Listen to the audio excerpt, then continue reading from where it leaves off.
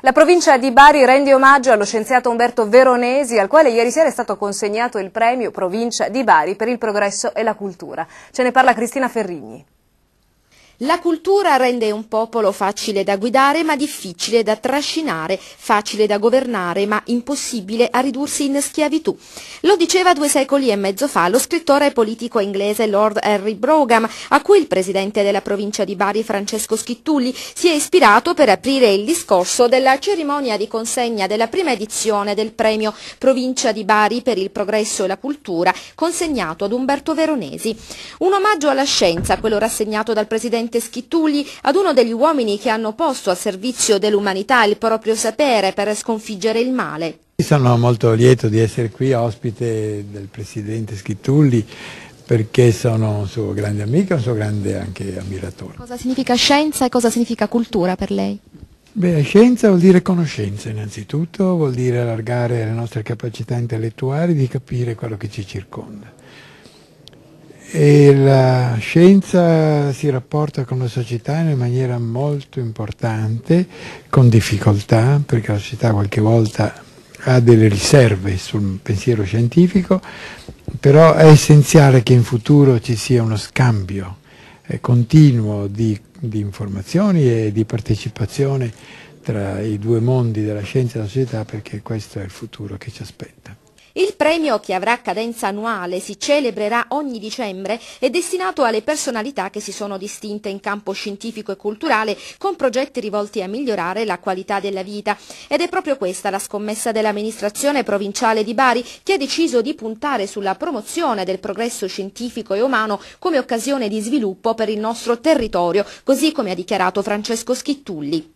Portarlo qui a Bari è un onore per eh, la città di Bari, ma anche per la provincia e per tutta la regione e di tanto gli sono grato. Ospite a sorpresa della serata anche Alberto Veronesi, figlio di Umberto Veronesi, direttore d'orchestra di fama internazionale, a cui il presidente Schittulli ha formalizzato l'invito a dirigere l'orchestra sinfonica della provincia di Bari.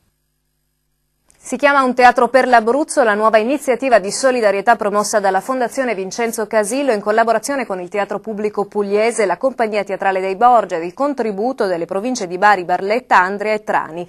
L'obiettivo è quello di raccogliere fondi per la realizzazione di un teatro tenda da 300 posti in piazza d'Armi all'Aquila, allo scopo di rinvigorire la vita culturale nella città devastata dal sisma dello scorso 6 aprile. Il progetto prevede un tour itinerante nei principali teatri pugliesi dell'opera di Shakespeare, Troilo e Cressida diretta da Giampiero Borgia. L'opera debutterà il 20 dicembre in anteprima a Lucera, mentre il 21 ci sarà la prima nazionale al Teatro Piccini di Bari.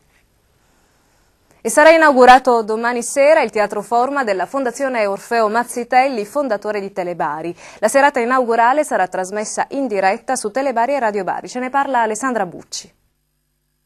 Un regalo di Natale per tutti i baresi. È il Teatro Forma della Fondazione Orfeo Mazzitelli, fondatore di Telebari, prima emittente televisiva privata del Mezzogiorno. Il nuovo contenitore culturale nasce dall'intuizione degli imprenditori Dante e Maria Teresa Mazzitelli, che hanno raccolto il testimone del padre, celebrandone le grandi doti imprenditoriali e l'impegno sociale con una fondazione. E proprio il Teatro Forma è figlio della fondazione, destinato ad arricchire l'offerta culturale della nostra città, ma non solo. Sarà un palcoscenico per i giovani talenti locali con l'ambizione di una carriera artistica il Teatro Forma aprirà le porte alla città domani sera con un'inaugurazione che trasmetteremo in diretta su Telebari e Radio Bari. A illustrarci i dettagli della serata è il direttore artistico Michelangelo Busco. Domani mm, è l'inaugurazione istituzionale, quella nella quale partecipa un po' tutta la città nella, nella sua veste migliore. Proporremo un gospel per la chiusura della, della serata.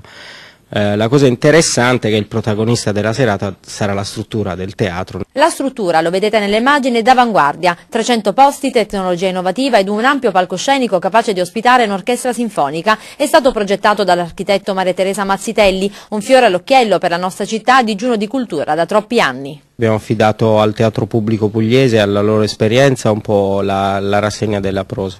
Per quanto riguarda il cartellone del teatro partirà con uh, tre date eh, di cabaret con dei nomi importantissimi a livello nazionale e poi ci sarà una serie di concerti eh, tra l'altro molti studiati ad hoc con dei progetti esclusivi per il teatro forma Passiamo al tempo previsto per le prossime ore, nuvolosità diffusa e possibili precipitazioni, temperature con valori compresi tra 8 e 10 gradi, venti prevalentemente moderati da nord a ovest e mari mossi. Come sempre notizie e aggiornamenti ai nostri indirizzi www.telebari.it e radiobari.net. Per questa edizione è tutto, grazie per averci seguito e a più tardi.